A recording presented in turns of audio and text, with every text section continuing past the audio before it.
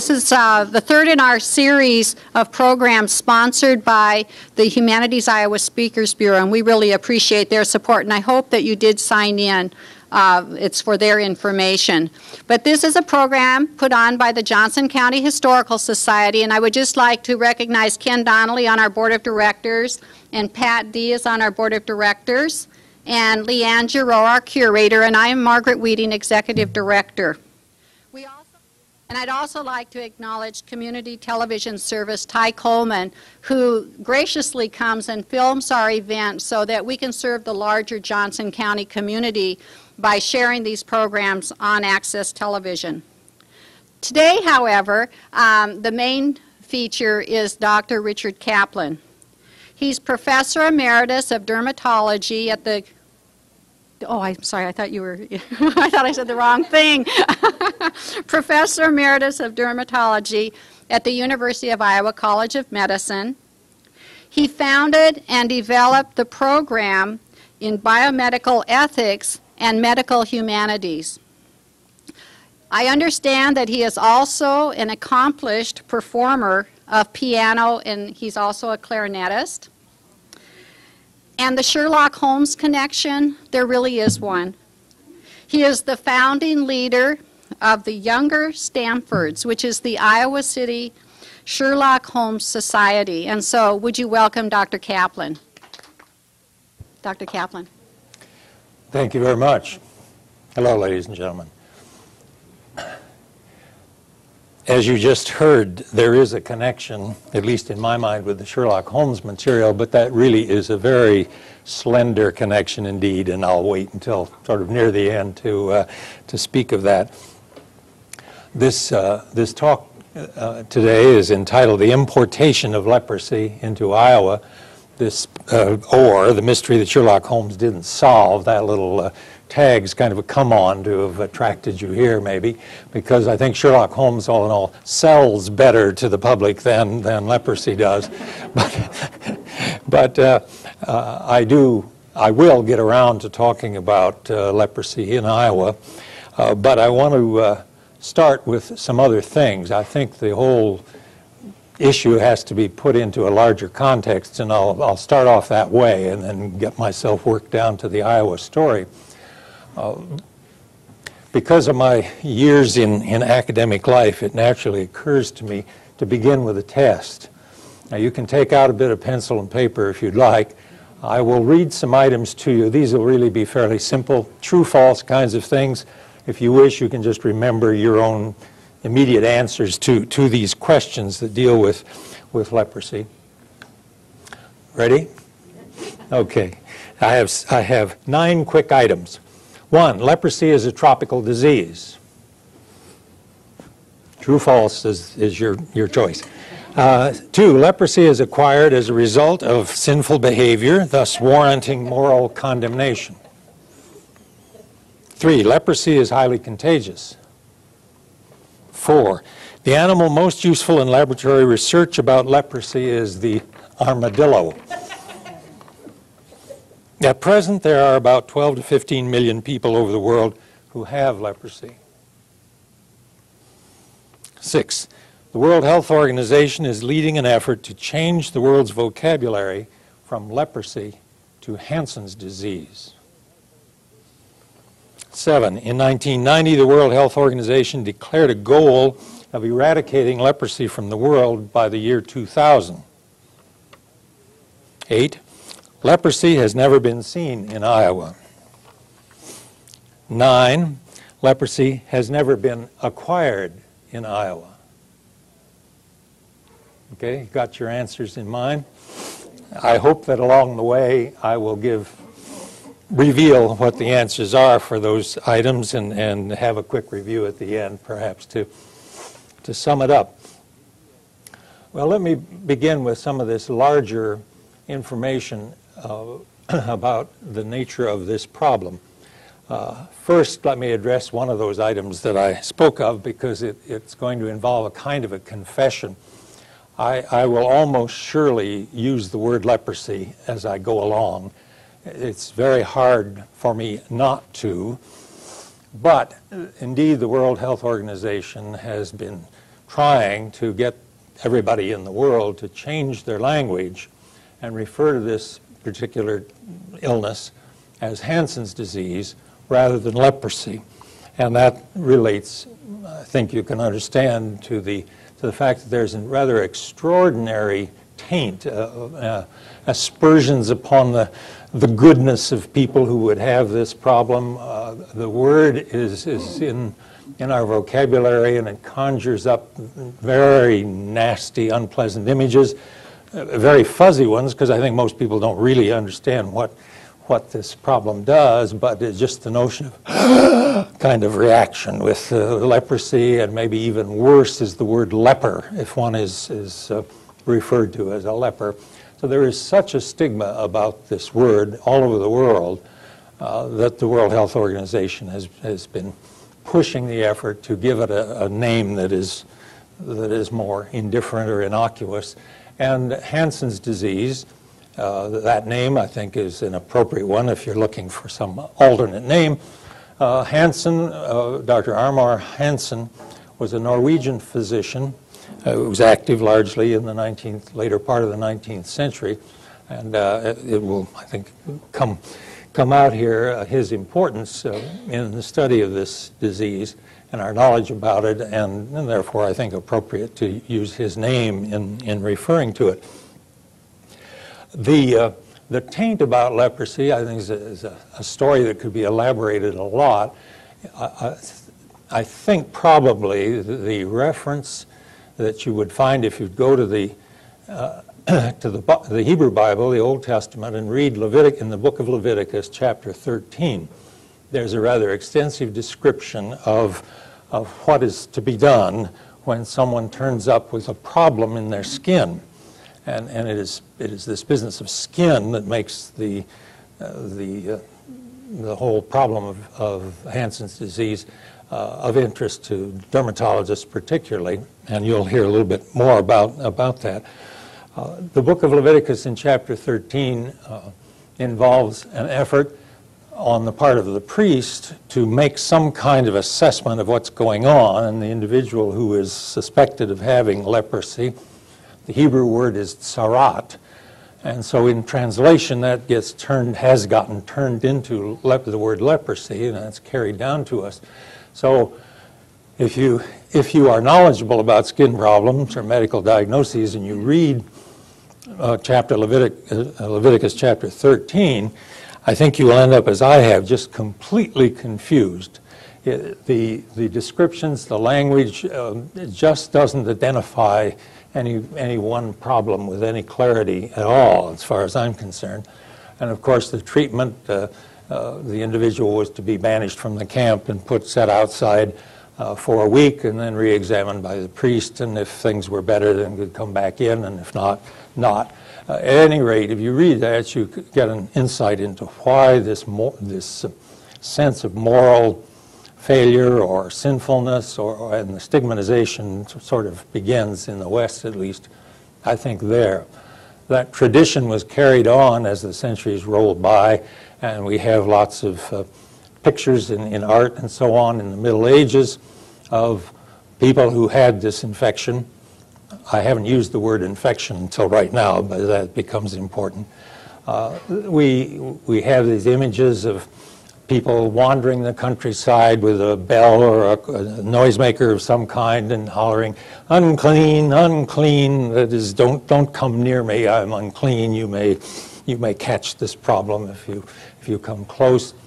In the, uh, in the Christian ritual in the Middle Ages, someone who, who had this problem was considered to be dead, and there was actually a mass for the dead that would be said, and, and even a sort of fake burial, as it were, would, would happen, so that this, this person, that, that was adding to, or, or arising from this notion that it was moral failure, sinfulness that caused this person to have the trouble, and, and so they had to be dealt with in this way. Uh, the, the, historical record about the treatment of such people in the, in the Middle Ages uh, involved perhaps more, more helpfulness on the part of some of the church area, uh, areas and hostels and so on, and uh, communities that would set out food, make it available to some of these patients who, who were wandering the countryside. It may well be that many of them did not have, in fact, this particular infection. The, the diagnosis back then was you know, pretty, pretty iffy, I think. uh, in the, in the what, what is not the western part of the world, say in, in uh, Africa, uh, southern parts of Africa, in, in Asia, and so on, uh, though for a long, long time this infection has had a stigma that's almost comparable to what I've just described in, in the West. And uh, even yet, in modern India, for instance, where there are a fair number of afflicted individuals, uh, the, the sensitivity of the public is very great if there is any kind of disturbance of pigmentation of the skin. Of course, most of those folks have very dark skin, and if anything changes the color, uh, darkens it or, or lightens the color, this is something very fearful. It isn't just a cosmetic difference. It, it, it raises the specter that, oh, this, this may be leprosy, and in that case, all this whole massive stigmatization rises up and, and uh, uh, makes a great social problem. So the stigmatization is around, and that, again, justifies, I think, the, the effort of the World Health Organization in uh, trying to change our language, but it's, uh, it's going to be a tough fight. Now, the, the present understanding of this uh, sickness is that it is, it is an infection. It is caused by a very particular bacterium. It has the scientific name of Mycobacterium leprae. It is botanically very closely related to the organism that causes tuberculosis, which is, its name is Mycobacterium tuberculosis. And there are some other members of that genus that cause, cause human and animal disease.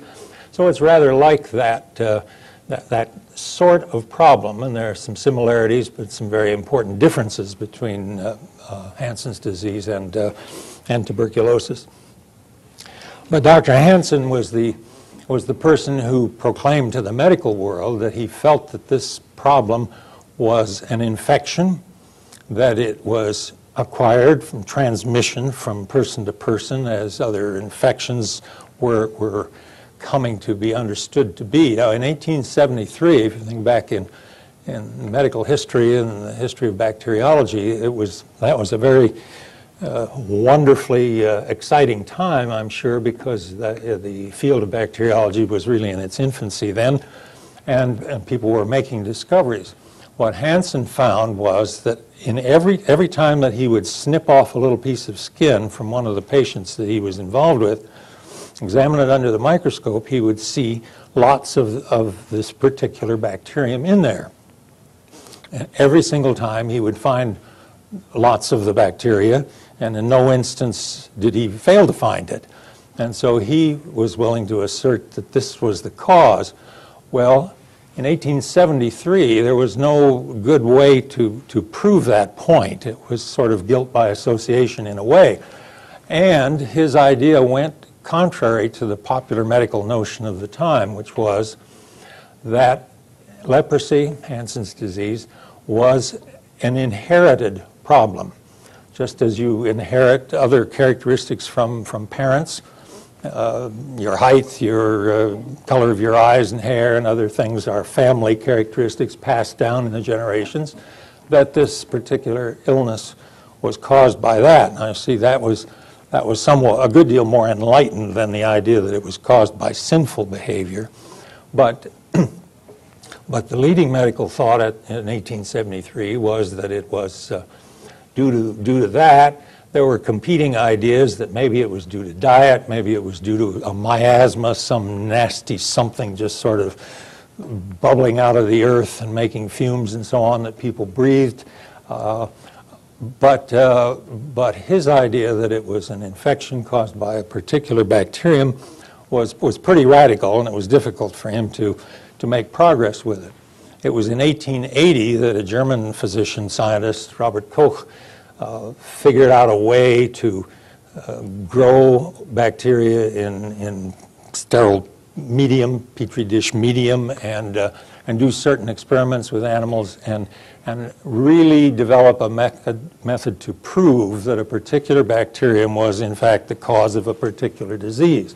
That was an extraordinarily powerful advance. It never worked for leprosy, however, because it's the nature of this particular bacterium that nobody has ever yet been successful in growing it in a, in a dish. This, this is very unusual, but it, it, just simply doesn't like that environment. It does not replicate in, a, in an artificial medium like that.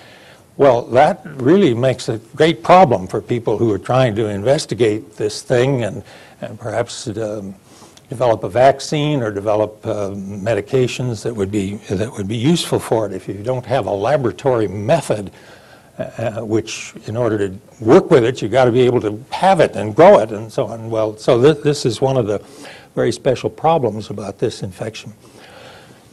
Well, let me move on, say a few other things about it generally. Uh, the item about it being a tropical disease, how many of you said yes in your little response to my quiz. Got one honest person back there anyway. uh, it, we generally think of it that way, and in fact, at least certainly today, most of the patients who have this infection live in tropical areas or subtropical areas of the world. But I think it is, it is not a matter of latitude or weather. Uh, it is much more a matter of economics, of poverty, of poor nutrition, of crowding, of inappropriate uh, or lack of sanitation. It is that, that kind of thing, not the, not the geography, uh, not the latitude. And in, uh, throughout the Middle Ages, for instance, the, the, this problem was, was rampant in Europe. And uh, in, even as far north as Lapland, uh, the very northern part of, of Scandinavia, uh, there, there was a lot of it. Uh, there was a, a, major leprosarium on an island far north in the Gulf of Bothnia, which is the, the water that uh, separates the coast of Sweden from the coast of Finland. Uh, and Norway, uh, I said that Dr. Hansen was a Norwegian physician. There was a lot of this problem in Norway, even in the 1800s, when he, he happened to be a native of the city of Bergen on the west coast of Norway. And, and there was a hospital there, a leprosarium, to take care of patients. Uh, his father-in-law uh, was the medical director, as it happened, of that hospital. His father-in-law firmly believed that this was an inherited problem, and so that when his son-in-law declared, no, it is not an inherited problem, it's caused by a bacteria you, you get like other bacterial problems, uh, uh, this, I, I, don't know, it's not recorded clearly what conversations went on in the family, but uh,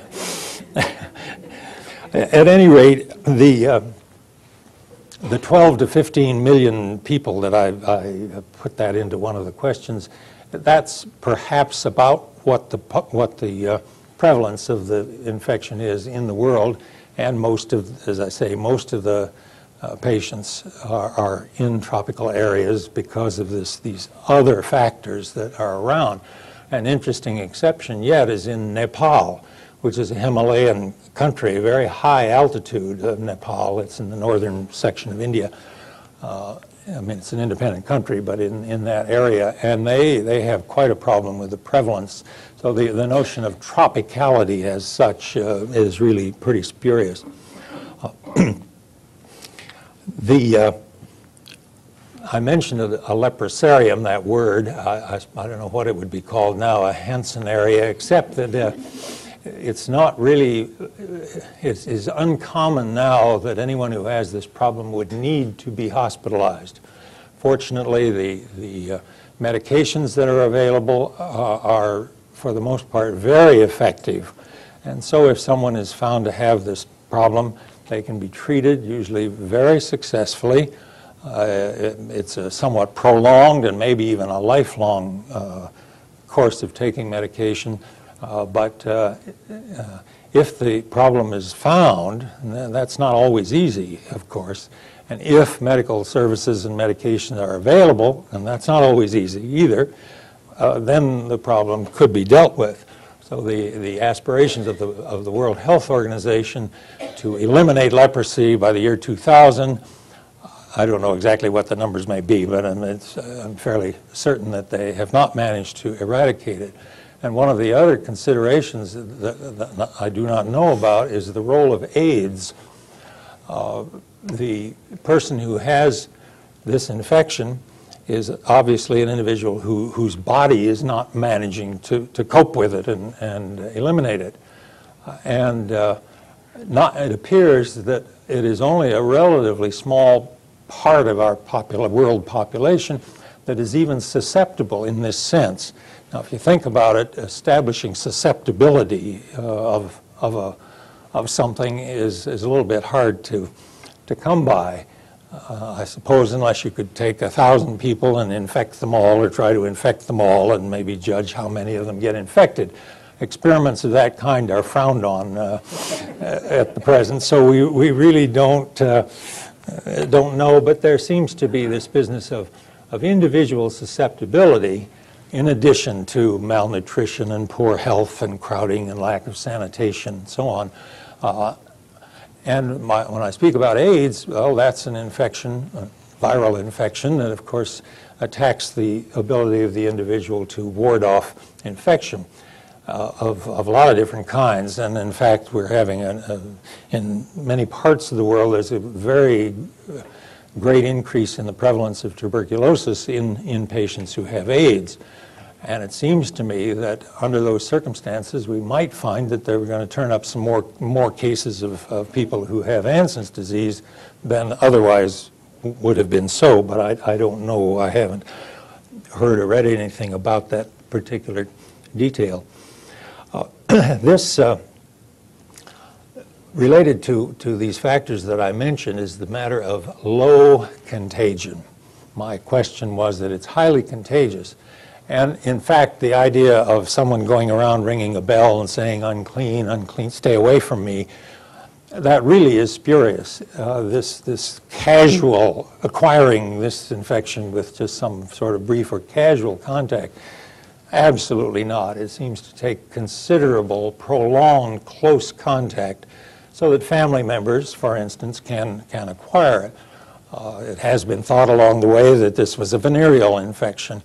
Well, only in the sense that I think that, that uh, uh, families might uh, be very close in their, in their quarters and so on, but it's not, uh, it is not at all appropriate to think of it in the same way as, as the other infections that we do feel are transmitted sexually.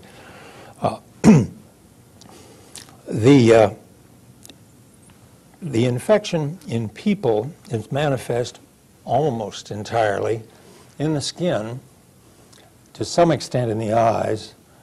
And in the skin, not only does, does the organism replicate and can be found growing in, in the skin just under the surface, but especially in small nerves that are nerve fibers that are coming to the skin. We all have loads of nerve fibers all over in our skin. That's how we can feel and sense temperature and so on. And Uh, those nerves seem to be uh, particularly attractive, and the organism is found uh, gathered around these little nerves. Well, the effect of that is that it knocks out these nerves to, to the skin, and so there are areas that, that develop in, in a patient that are numb, that don't have, that don't have sensation. They don't feel that, that they're, they're being touched or that, or that they're being burned or injured, and this is where the big problem comes because it is not just skin in general, but especially skin in, so to speak, the far parts of the body. Uh, the, uh, the ends of the fingers, the toes, the ends of the, no- the end of the nose, the rims of the ears. Those are, are the places where especially the infection seems to prosper. Not internally, uh, not in the lungs or the liver and, and other internal parts, and the reason, it has been thought for some time, was that uh, it's a matter of temperature. That the, the skin is cooler than the interior of the body, the far parts of the skin are even cooler than that, and that, uh, that, that that's where this uh, infection occurs. And as, as these little nerves are knocked out and the individual doesn't feel pain or sensation, it may burn, burn the finger on, on a hot stove or sit too close to the fire or, other, or be injured in some way. and, and do damage, especially to the fingers, and uh, in the process of uh, having infection and healing and so on, gradually there, there can be resorption of the, of the bone, bony structure of the, of the digits, and, and fingers may be lost, either or toes partially or totally. The, the notion that you're walk, that the patient is walking along and oops, my finger just dropped off, that's, that is ridiculous nonsense. That's is not at all the way this phenomenon uh, behaves. It's, it's very slow, very chronic. Well, when, when the skin is injured, and sometimes rather badly in a burn or some other kind of an accident, and if it's then subject to just ordinary infection with, with other kinds of bacteria, and, and there may be then ulcers, sores that are, that are made, or nasty infection, or ultimately blood poisoning. And when these people in the course of their lives, they're kind of running downhill, uh, nutrition is poor probably to start with, although not always, uh, but uh, gradually they may become more, uh, suffer more general decay, so to speak, uh, and uh, become more subject to blood poisoning or pneumonia. And that is how the patients die. It is, it is a secondary reason for the death. And now, with antibiotics and other supportive um, ways of treating those infections, uh, they can be dealt with. So this, this image of, of someone with the fingers or other parts of them uh, falling off. Someone asked me yesterday about, uh, is it so that just the nose falls off? Well, no, it doesn't just fall off, but it, it certainly can have, have problems. But, but through the medications that are available now, against this particular organism and, and the other organisms that may cause infection, why the, the issue can be, can be addressed. Well, let me, let me move along to the Iowa part of this, this story uh, and, and how it happens that I uh, have an interest in it. Uh, the, uh, the problem first came to my personal attention when I was a, an intern after graduating from medical school. My internship happened to be in Honolulu. And in Honolulu, uh, there was still considerable interest and residual of, of patients who were there in Hawaii because in Hawaii, starting about a century earlier, in roughly the 1850s, Hawaii began to have a lot of problem with, with this. Many people, many patients who were infected, and it was getting to be a, a quite a, a, distress, and the government had to get into the action and so on and try to do something about it.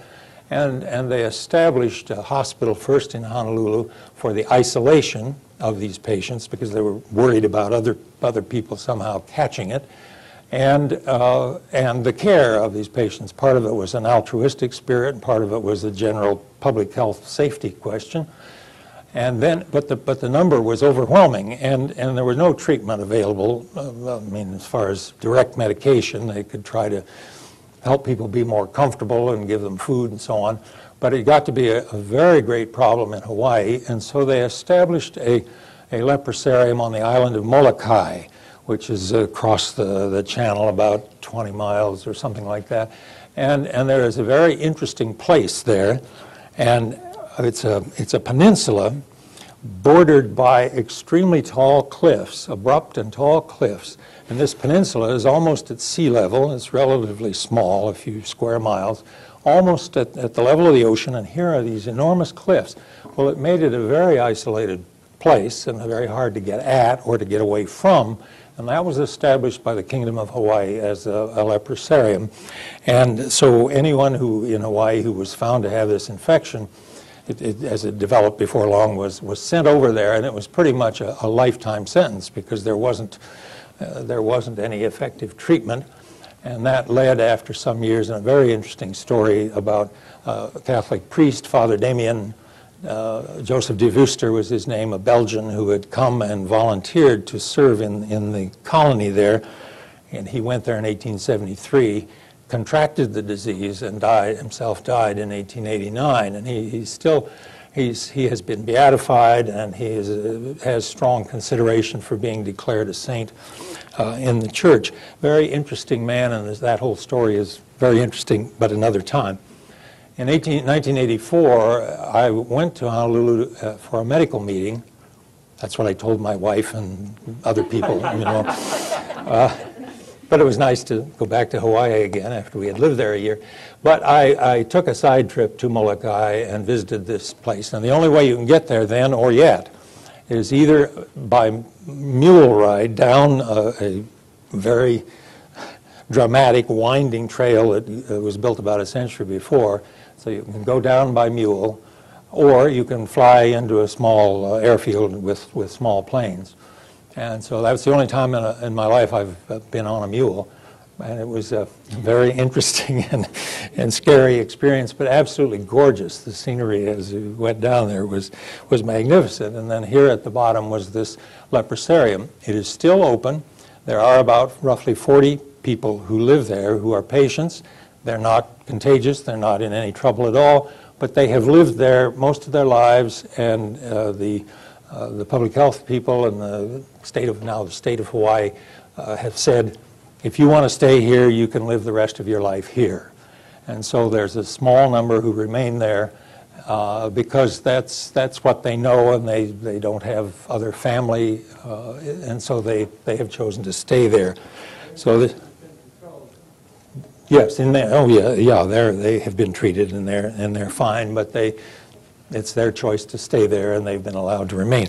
Well, I visited this place and I, if you wish afterwards you might come up and look at some of the pictures I have in the photo album here, some pictures I took at the time of that peninsula. Uh, stories are still being written about it, a very recent one in a magazine from Hawaii uh, showing the palm trees over the, over the old cemeteries in the uh, in the settlement there. and and the uh, if you get to Honolulu, you there now is a right in the way, middle of the Waikiki area, a little museum uh, dedicated to the story and the saga of Father Damien. It's behind a very lovely new Catholic church on on the main street through uh, the Waikiki area. Well, we have. Uh, in addition to that, place as a leprosarium, of course, which was established when Hawaii was still a kingdom, and then all through its time as a territory and now a state. But the United States Public Health Service established roughly in the beginning of the 1900s a national leprosarium in Carville, Louisiana, which is located between New Orleans and Baton Rouge. And that's another very interesting place. There is, there again, it's, it's almost defunct. There is, except for people who've lived there a long time, it's, it's, it's hard to maintain it because it really is so seldom necessary to hospitalize a patient. a lot of techniques in hand surgery were developed at that Carville institution because the hands, obviously, were, were especially vulnerable to trouble and to rehabilitate these patients, surgery on the hands was needed. And and so it became a, a center where techniques for, for hand surgery and rehabilitation were, were developed in a very important degree. Uh, we now have, I think it's seven uh, Hansen's disease clinics operated by the United States Public Health Service in the large cities, New York, Miami, Houston, Los Angeles, where, where there are still patients appearing. Well, how do these patients uh, appear there? Uh, well, this is the, the uh, the importation, so to speak, because this disease as, an, as a native infection in North America seems never to have happened. There has, there has, been no recorded instance of it in a native in one of the Native American populations. In the in the uh, uh, in all the instances that can be documented, I believe, uh, there the, the infection is always brought into this country by someone who has acquired it outside and then came back. They might be natives of this country. As the first patient I saw here at University Hospital soon after I came a long time ago, uh, he had been born in Muscatine. He grew up in Nebraska. How on earth could he have this problem? Well, he, it turns out he was a, a Lutheran minister who was a missionary, and he had been assigned in, in his role to be the director of a leprosarium in Borneo, and for seven years he had lived there and worked as a, as a director. Uh, I think his own nutrition and sanitation and so on were pretty good, but he had relatively close contact in, in an environment like that, and he did develop uh, uh, a mild manifestation of the problem. Uh, and it is he came back and he walked in. In fact, he said, "See this this patch of trouble near my ankle? I think that's leprosy." Well, ha ha, you know, kind of the reaction. Well, he knew uh, he knew whereof he spoke, and he had had opportunity to see lots more people with the with the problem than uh, any of us around here.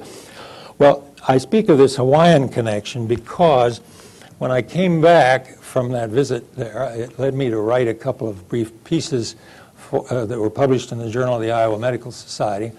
And to, in checking for accuracy, I, I, sent a copy of it to a, a, dermatologist who was a generation older than I, who was pretty well known as uh, internationally for his knowledge of this problem, who lived and practiced in Honolulu.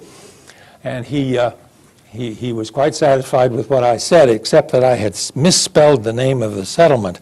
It, I had spelled it Kalua Papa, and it is really Kalaupapa.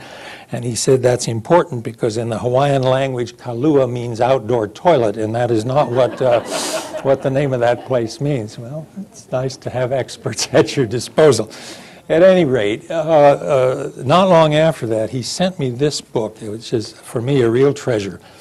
This is a book that was published in 1886 in, by the Kingdom of Hawaii. It is reporting their, their experiences with a uh, survey that they conducted in 1885.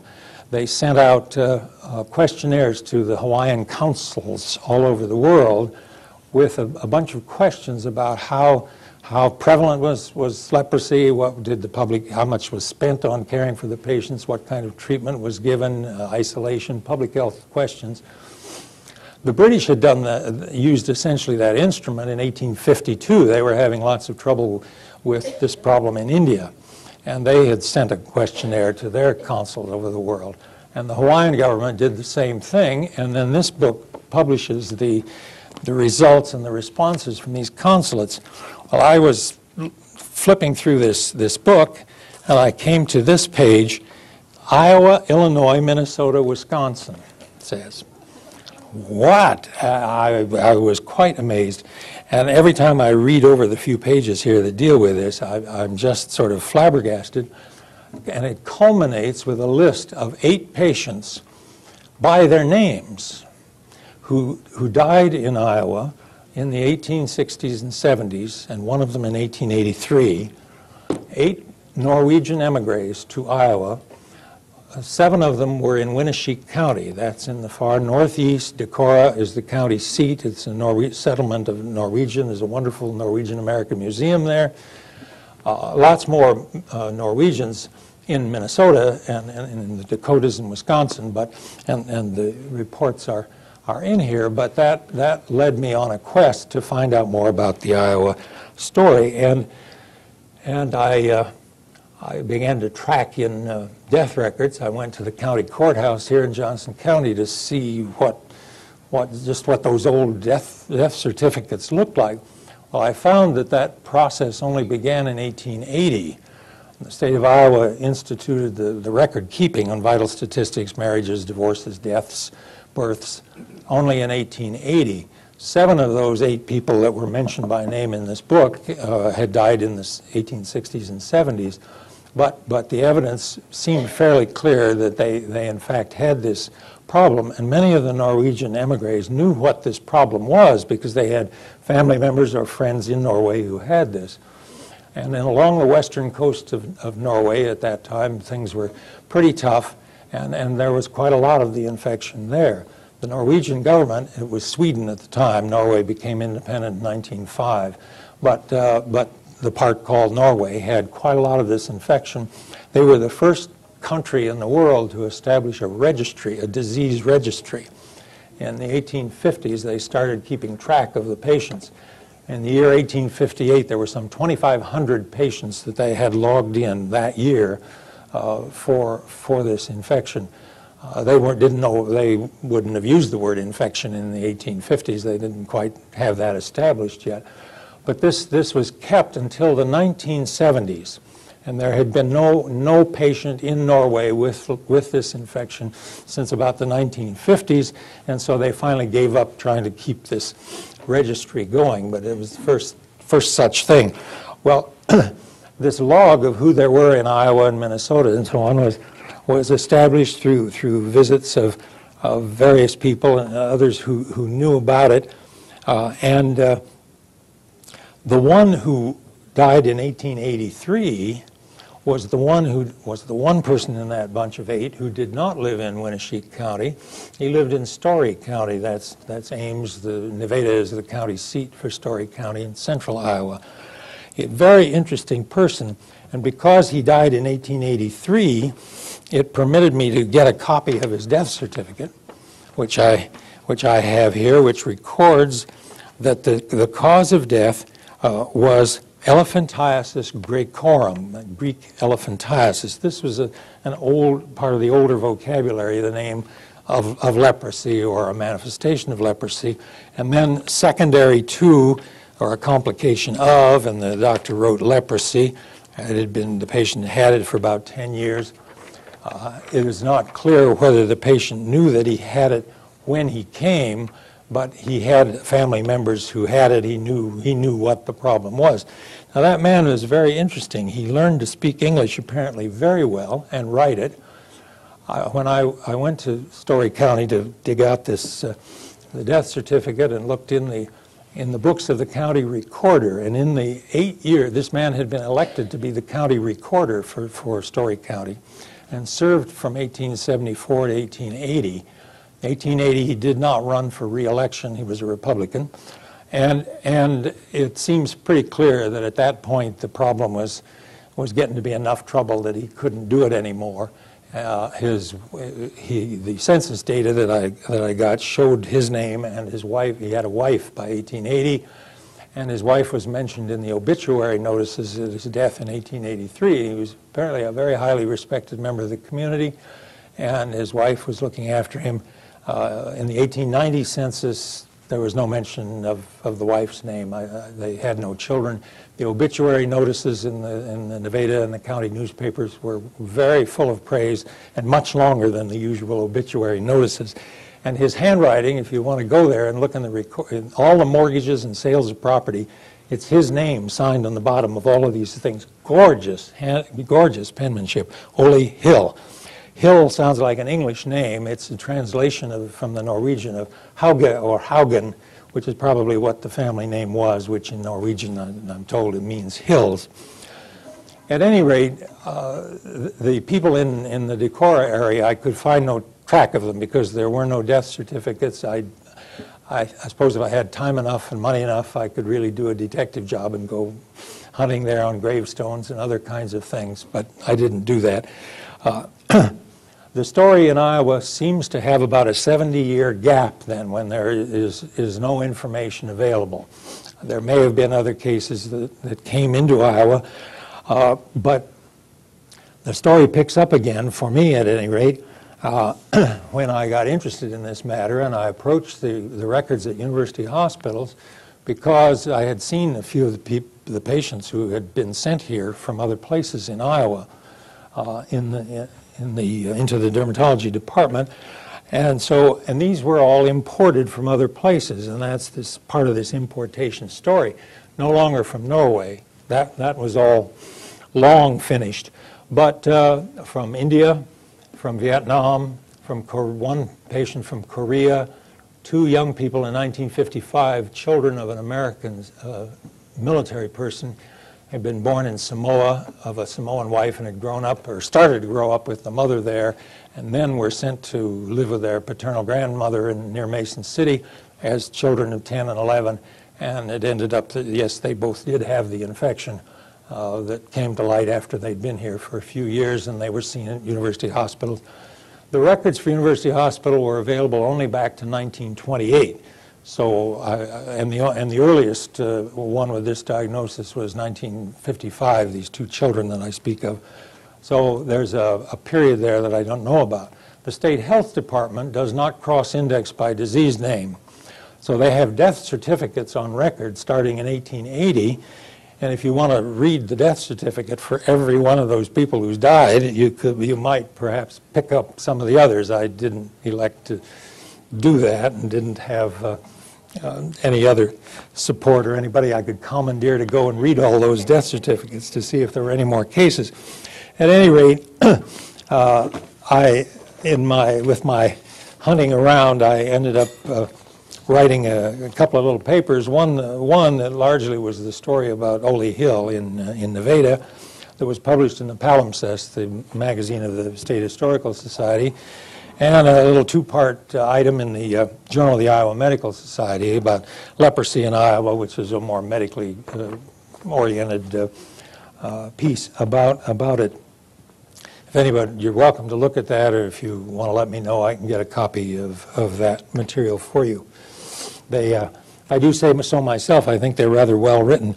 And the, but the opening sentence attracted me. Uh, the one for the palimpsest begins, just as persons immigrate, so do diseases.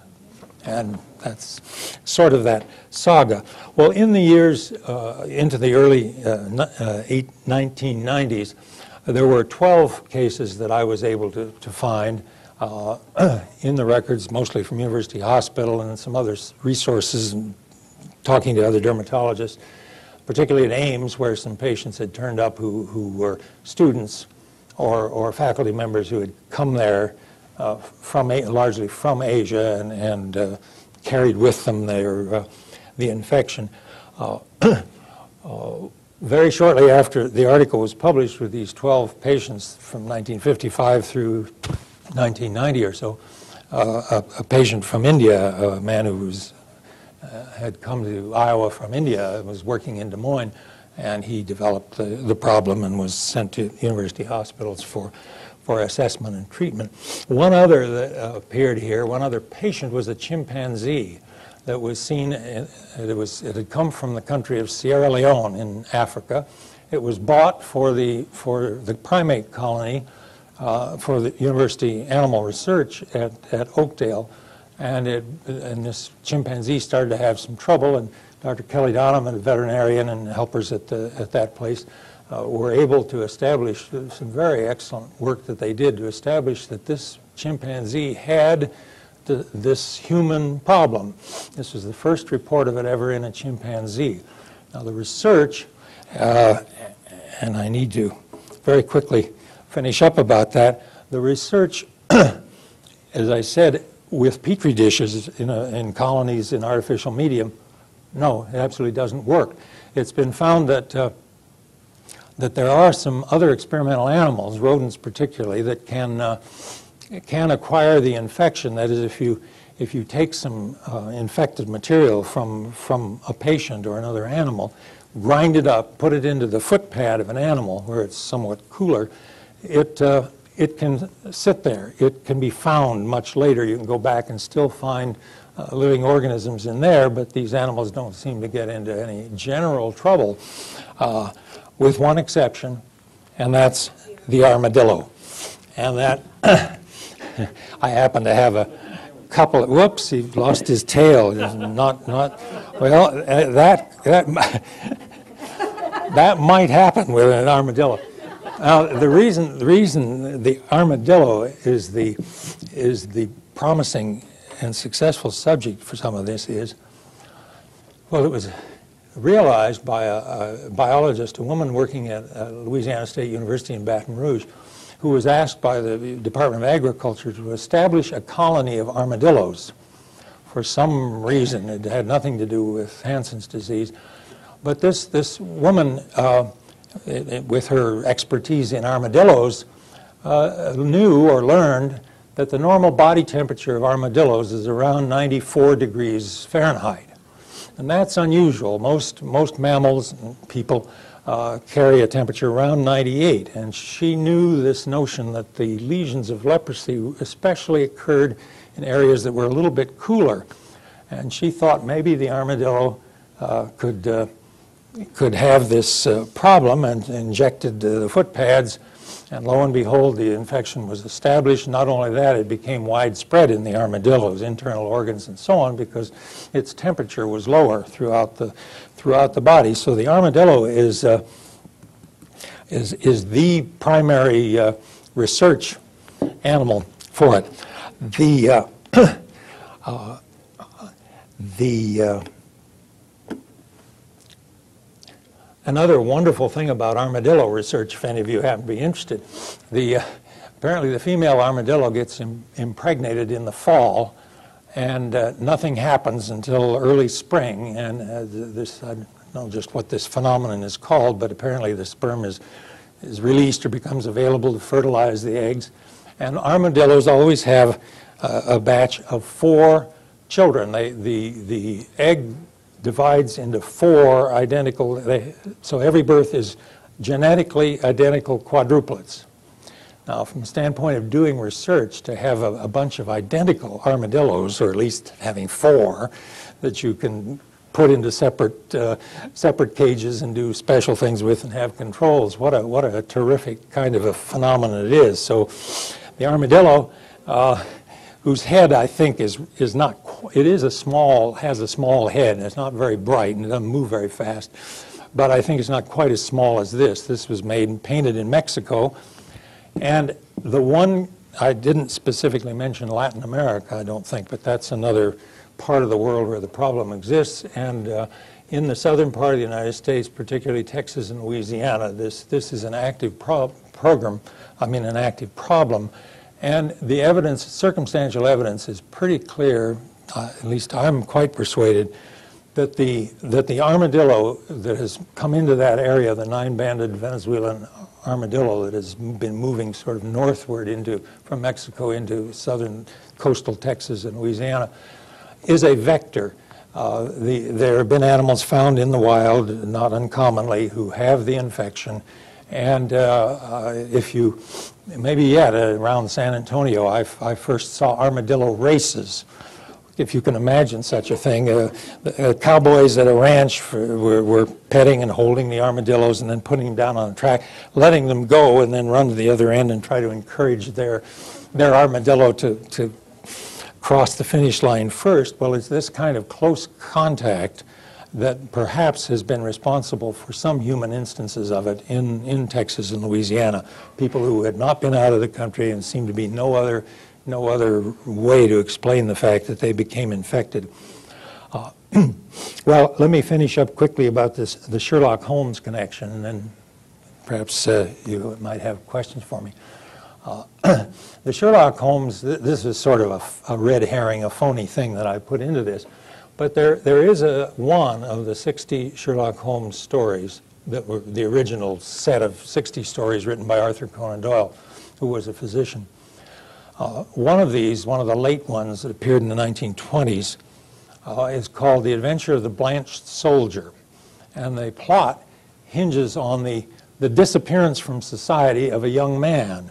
And a friend of the young man tried to find him, and, and he couldn't locate his friend, and the family rebuffed him and wouldn't answer questions. So he went to Sherlock Holmes to help him find out what was going on. He wanted to know about his friend. And so Holmes came to the estate and uh, discovered that there was a little house in the back uh, where a young man seemed to, to live and uh, with, with an older man. And uh, ultimately, Holmes, with his cleverness, was able, and this one, this story is one of the four stories where Dr. Watson is not with him. And I think that's important because maybe Dr. Watson would have been able to make a correct diagnosis, whereas it took Sherlock Holmes quite a bit longer to do the medical part of that.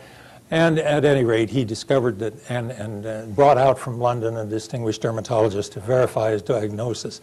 And the young man was secluded back there and had vanished from the earth by his family to, to sort of protect him because they thought he had leprosy. Uh, it turns out what he had was something called pseudoichthyosis, a different, totally different skin disease, not, not, uh, not leprosy. And, uh, and so the young man was able to return to society. Uh, but the, the reason the family thought that the young man had leprosy, and the young man probably did himself, was that he had been a soldier in the Boer War in South Africa in, uh, in roughly the year 20, 1900. Uh, and he, uh, one night in the, in the heat of battle, he was isolated, alone, and exhausted, and he came to some house and he crept into the house and fell asleep. And the next morning, he woke up and he found there were other people living in the house, and all of them were patients who had leprosy.